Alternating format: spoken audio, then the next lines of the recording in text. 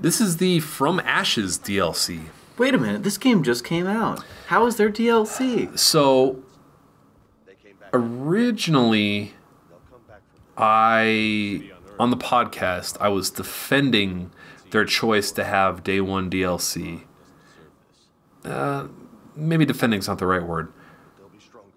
I wasn't admonishing EA and BioWare for including day one DLC in their game.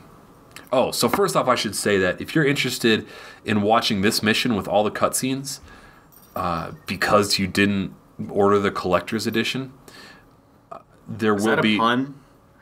Collector's edition? Oh Jesus Christ! uh, no, but it should be It should be, right? Uh huh. The Reaper's edition. the Reaper edition. The collector edition. yeah.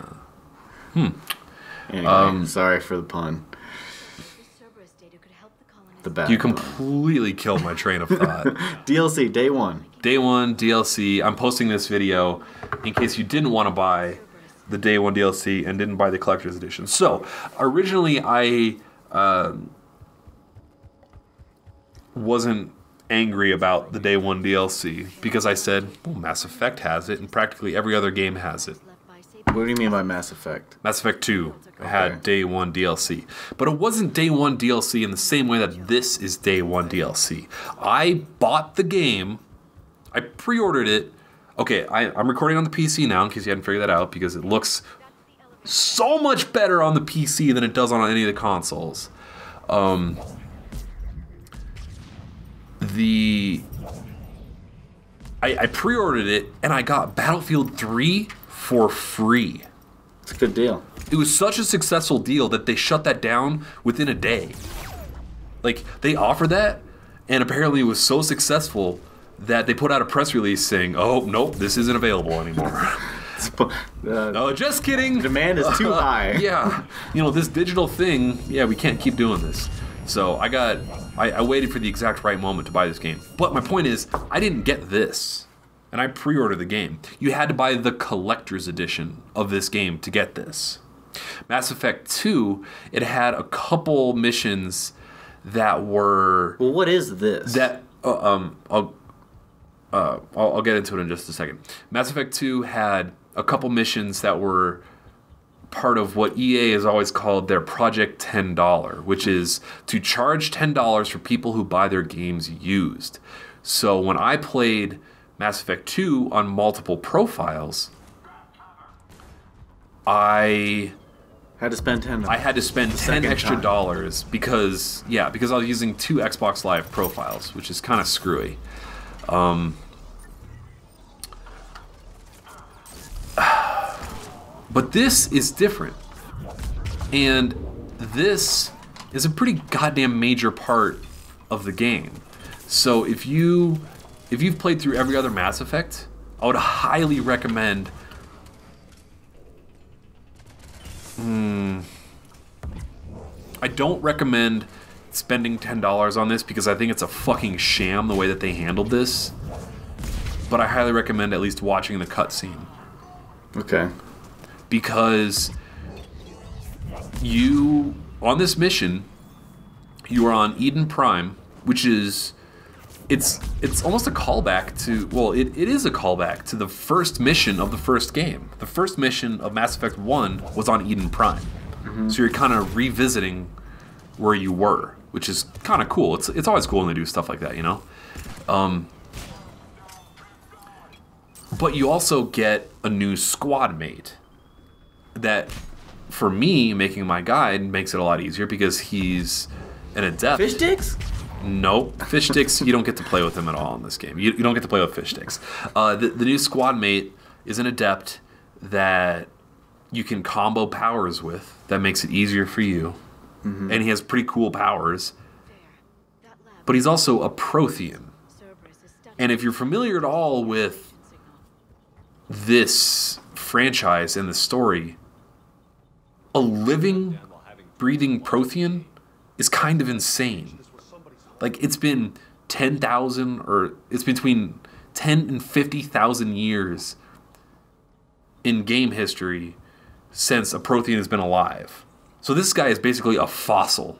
Mm-hmm. And he came back to life and he's living, talking, breathing, fighting with you.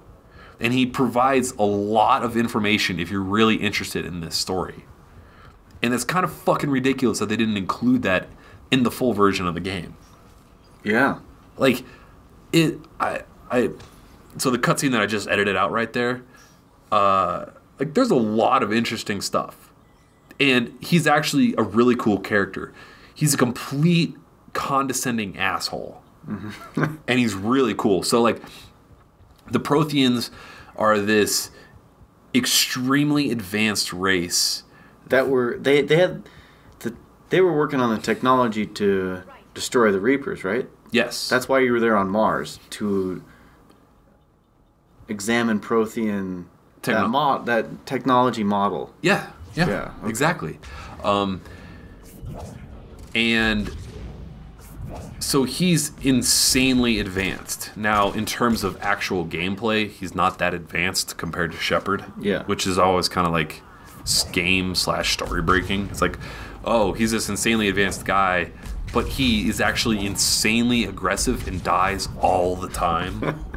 but he's got these cool powers but like he's he's so condescending like he's uh like he talks shit about all the other races he's like a human and a sorry what the hell why am i dealing with all these lower class races like you're writing now you can speak Yeah, it's like we're dealing with dogs and cats. yeah that, that, that's exactly what it's like Fucking dog? Really? Dogs talk now? Awesome. Yeah, I have to run like- around with a bunch of dogs. I'm dealing with these filthy Mongols. Like, what the hell is going on? Why am I wasting these time? Sorry, Carl. Oh, I'm the last one of my race, and I guess I'm gonna dedicate my life to defeating the Reapers. It's it, it's he's a really cool character, and I I'm pretty upset that they didn't include this, and that I didn't get to play through with him my entire first run because on my second time through, I'm skipping all the cutscenes. I'm not listening to all that shit again because I just played through it. It's just fresh and it's kind of fucking boring hearing it all again. Even if you play like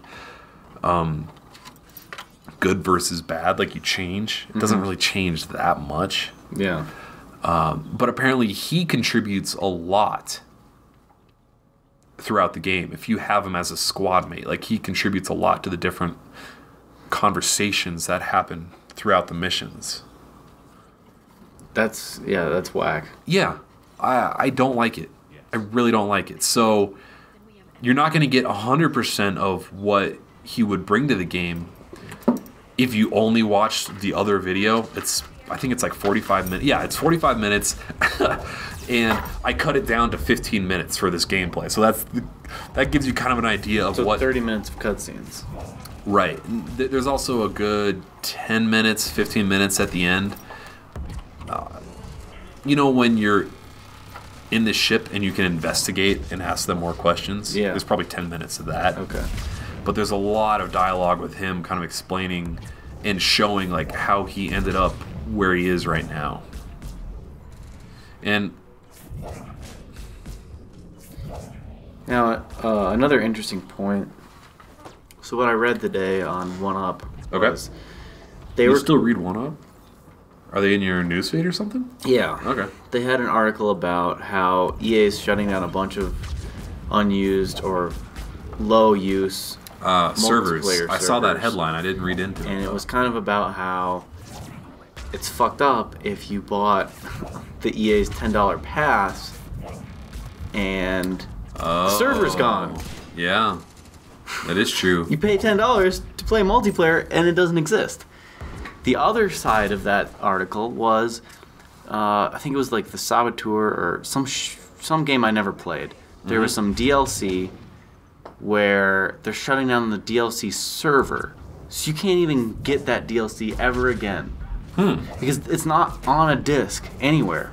You have to download it, and once they decide this game's not popular enough, you can't download it anymore. So, 10 years from now, when Mass Effect 3 isn't played very much and they shut down the server, this DLC that you're talking about is gone. That was cool. Yeah, that's one of my favorite things about being an adept. Shit just goes flying sometimes. That's gone forever. Yeah, Like, you can't buy a disc of this. Well, I guess the collector's edition, but like, Say if it was only DLC. I don't even know if the collector's edition includes it on the disc. So okay, so say the server goes down in ten years. Yeah. All that content's gone.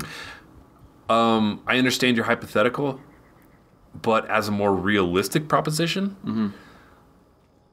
I don't think Mass Effect DLC is going anywhere. I think it'll be available forever because it's such a popular franchise.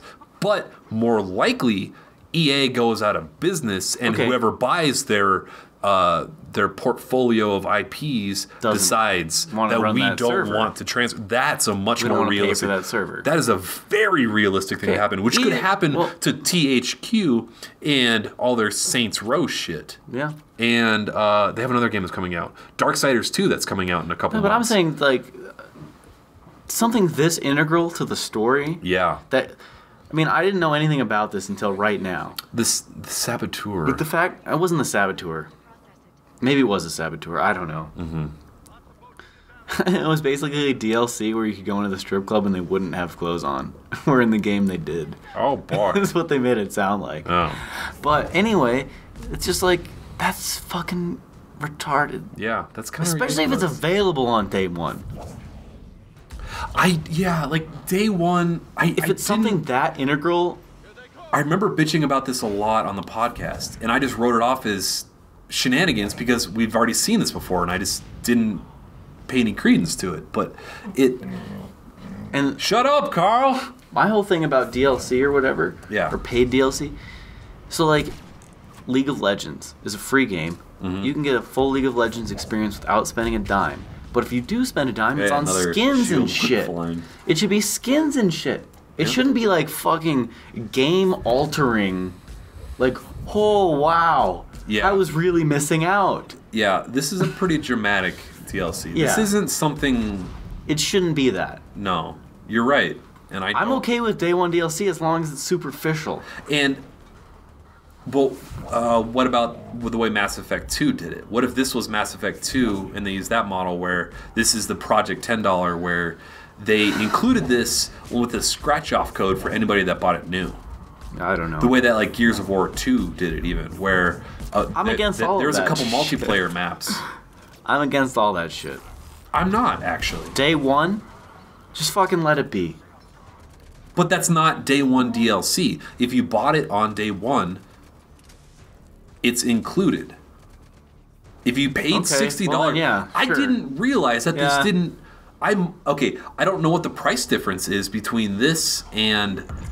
Uh, no, I, I understand the, the collector's company edition. wanting to get. But if I could have paid ten dollars extra for the collector's edition, got something else, and this, I would have done that. I didn't realize how this was portioned out. as a consumer, I'm against it all. As a person who understands business, I mm-hmm. understand why they'd want to incentivize new purchases over used purchases. But this isn't even that. This Yeah, is I know, I know. This I'm- is I'm talking about Mass collector's 2. edition versus I'm talking about two. yeah, the whole collector's edition thing. That's what bothers the shit out of me. Okay, so this is the first atlas we've seen in the game.